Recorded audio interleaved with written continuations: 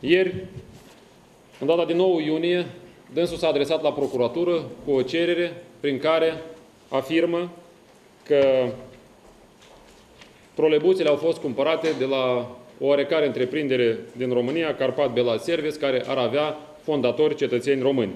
Și în anexă prezintă o copie a monitorului oficial din România din data de 25 septembrie 2008, numărul 5334.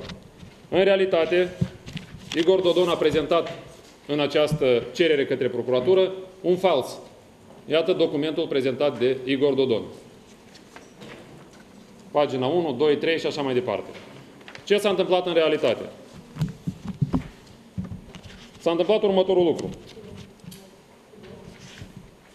A fost luat originalul monitorului oficial pe care vi-l prezint acum dumneavoastră, monitor oficial din data de 25 septembrie 2008, numărul 5334.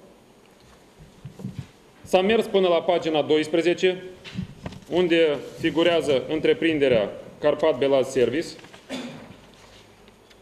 S-a decupat o parte din pagina 12, apoi s-a sărit peste pagina 13, s-a mers la pagina 14, de la pagina 14 s-a decupat încă o jumătate,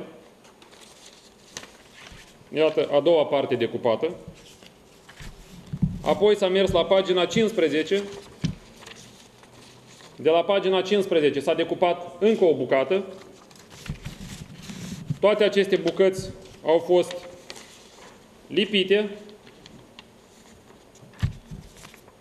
și în final a ieșit monitorul oficial al lui Igor Dodon. Aceasta se numește fals în acte publice la procuratură și în judecată. La procuratură pentru partea penală și în judecată pentru partea civilă, recuperarea prejudiciilor și anume acumularea desfăgubirilor în valoare de 100 de trolebuse noi pentru Chișinău. Nu ne interesează despăgubiri pentru mine personal. Eu mă descurc cumva. Și toți ceilalți colegi. Dar 100 de trolebuse pentru Chișinău cred că ar fi foarte util. Și are de unde să dea, câte a privatizat, colecția de mașini de lux, ori mai, ori mai pune mână de la mână cu Voronin și cu alții și ori sunt convins o să reușească să acumuleze de 100 de trolebuse. Spuneți-mi, vă rog, este demn un om, un cetățean, tata a doi copii, fost viceprim-ministru, fost ministru a economiei, profesor universitar și așa mai departe. Este demn oare să se ocupe de asemenea chestiuni?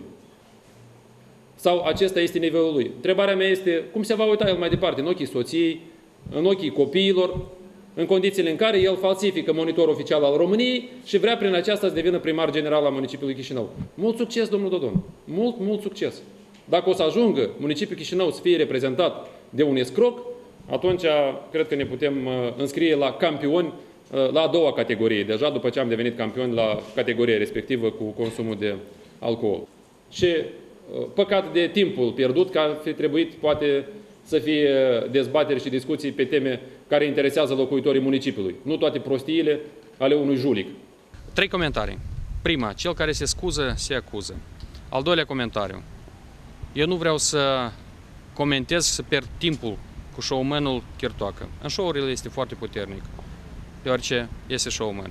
Eu mă interesează lucrurile serioase și, de fapt, nu vreau să pierd timpul cu show-urile.